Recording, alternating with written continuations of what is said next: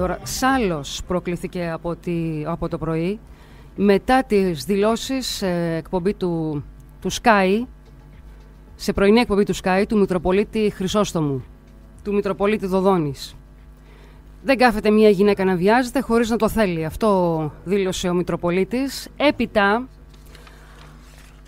από συζήτηση η οποία ξεκίνησε για το θέμα της εγκυκλίου κατά των αμβλώσεων της Εκκλησίας.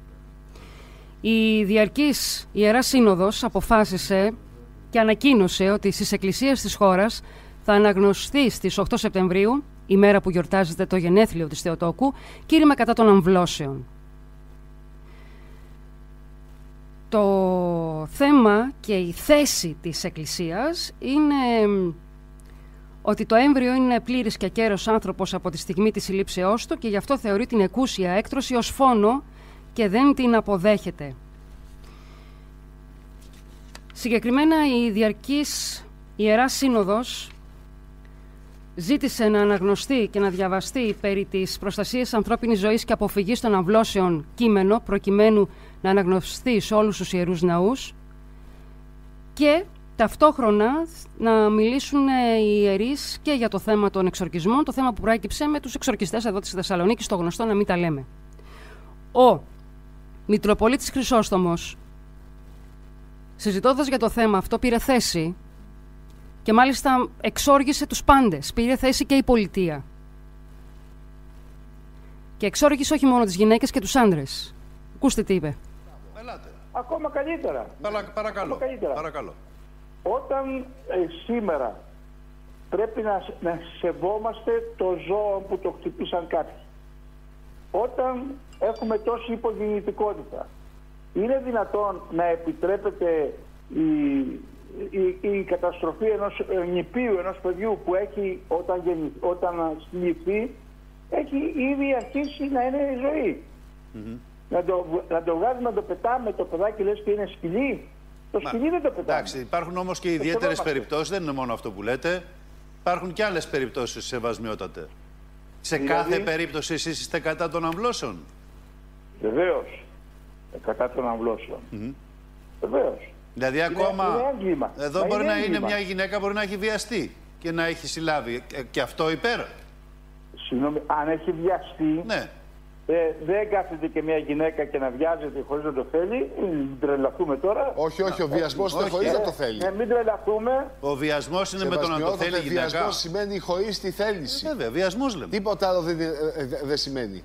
Ο Ναι. βιασμός είναι μια πράξη Εσείς- βίας, εσείς συλλαμβάνεστε- βαρβαρότητας. συλλαμβάνετε, ε, εσύ αντιλαμβάνεστε ότι μια γυναίκα κάθεται και βιάζεται και μένει και έγκυος; Μα δεν κάθεται να βιαστεί. Όχι, Σεβασμιότατα, εξεβασμιότατα, ένα ένα λεπτό. λεπτό. Συμμετοχή. Ένα λεπτό, ένα λεπτό, γιατί. Έχουμε αυτά και είναι γυναίκες Μάλιστα, βία. αυτά είπε ο Μητροπολίτης ε, Χρυσόστομος. Δεν κάθεται μια γυναίκα να βιάζεται χωρίς να το θέλει. Και μάλιστα πρόκειται και για έναν εκπρόσωπο της Εκκλησίας, ε, έναν εκπρόσωπο του εκκλησιαστικού κόσμου, ένας άνθρωπος ο οποίος με τις δηλώσεις του μας έχει, δεν θα πω προβληματίσει, αλλά εξαγριώσει. Γι' αυτό λοιπόν ζήτησα την, ε, τη θέση και την ε, άποψη της κυρίας Καλυψός Γούλα. Είναι η Γενική Γραμματέας Δημογραφικής και Οικογενειακής Πολιτικής και Ισότητας των Φύλων. Κυρία Γούλα, καλησπέρα σας και σας ευχαριστώ πολύ. Καλησπέρα κύριε Κουρικουλάς και εγώ σας ευχαριστώ για την πρόσκληση. Ακούσατε τον Μητροπολίτη Χρυσόστομο τι είπε; Ε, ναι, το άκουσα. Ε, εντάξει, δεν έχω λόγια. Ε, όμως ε, εκείνο που είναι θετικό είναι η άμεση καταδίκη αυτών των δηλώσεων. Οφείλω αυτό να το πω, δεν ξέρω ε, αν το έχετε ήδη αναφέρει και από την πλευρά της πολιτικής εξουσίας, αλλά πρόσφατα υπήρξε και μια ανακοίνωση της Ιεράς Συνόδου. Ε, είναι απαράδεκτο να λέγονται τέτοια πράγματα, πραγματικά και εξοργιστικά. Κυρία Γούλα, σε μια εποχή που ε, πάλι τίθεται το θέμα των αμβλώσεων και αναφέρομαι στην Αμερική, όπου πολλές πολιτείες αποφάσισαν ότι απαγορεύουν τις αμβλώσεις και ένα θέμα το οποίο γύρε πάρα πολλές συζητήσεις και εδώ και σε, και σε εμάς στην Ευρώπη, αλλά και στην Ελλάδα, στη δική μας μικρή κοινωνία. Ένα θέμα πάρα πολύ σοβαρό, το θέμα των αμβλώσεων.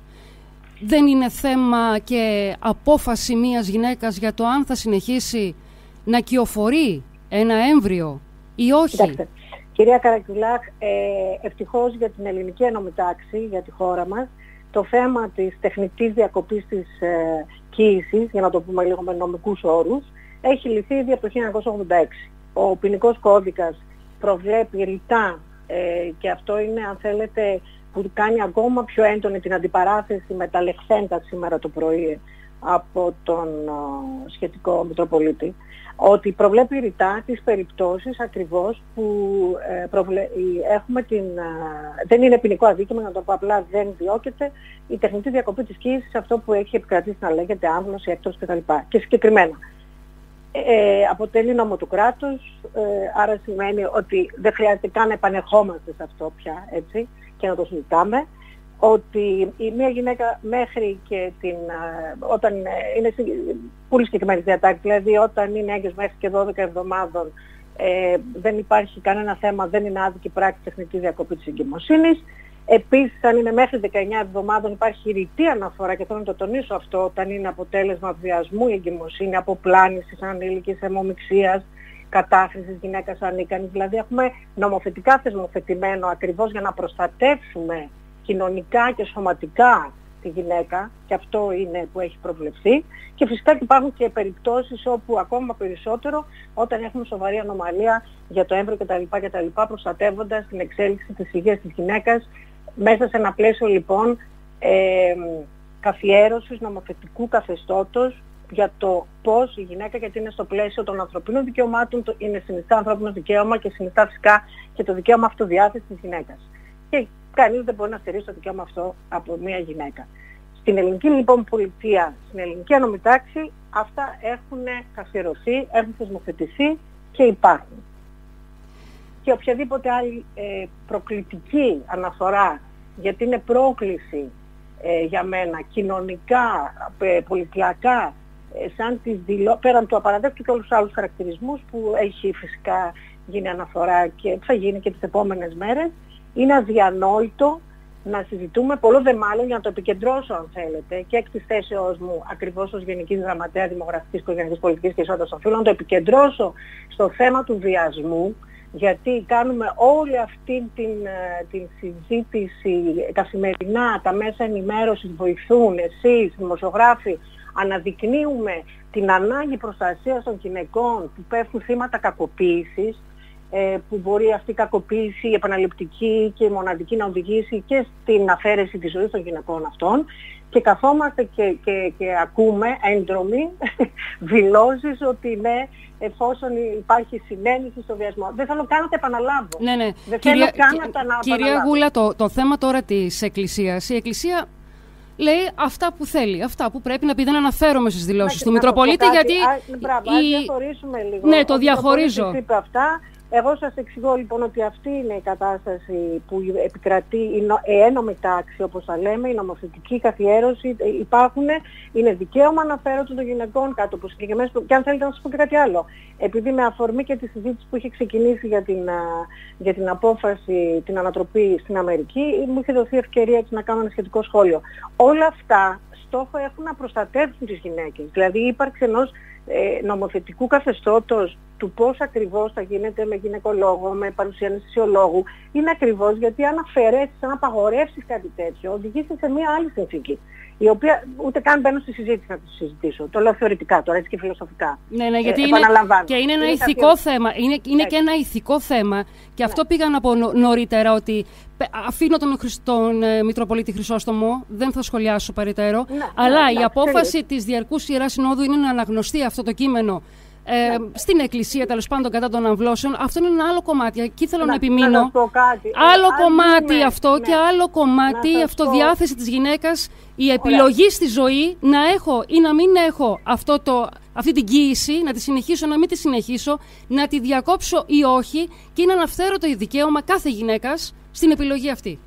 Κύριε Καραγκουλά, θα έλεγα να δούμε λίγο τι θα διαβαστεί την Κυριακή, γιατί ε, έχω μεγάλη έτσι, επιφύλαξη να δω τι τελικά θα διαβαστεί την Κυριακή και μετά αν θέλετε να τοποθετηθούμε. Γιατί πραγματικά δεν ξέρω ακριβώς τι είναι αυτό που θα διατυπωθεί σε σχέση με, με πώς να σας το πω, τι είναι αυτό που αποφασίστηκε Ε, πραγματικά, ε, γιατί ε, είναι άλλο λειτουργό και μιλάω απαγορευτικά, δηλαδή οι δηλώσεις που έγιναν, ξαναγυρνάω στις δηλώσεις μοιραίως του Μητροπολίτη, πέρα από το ότι είναι απαράδεκτες όπως το είπαμε, και για απαγόρευση, εδώ δεν μιλάμε, έχουμε μια πολιτεία, θα επιμείνω σε αυτό και σαν νομικός, καθιερωμένα, νομοθετικά, δεδομένα, ασάλευτα. Έχουμε νόμους, έχουμε το Σύνταγμα της χώρας, έχουμε το ποινικό κώδικα της χώρας, ε, του δικαιικού μας συστήματος. Οπότε ε, αυτή είναι η κατάσταση και κανείς αυτή την κατάσταση δεν μπορεί να την ξεπεράσει.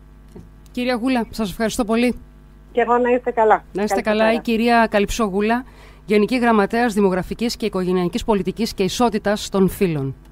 Κρατάω μία φράση της κυρίας Γούλα. Έχουμε ασάλευτα νομικά δικαιώματα.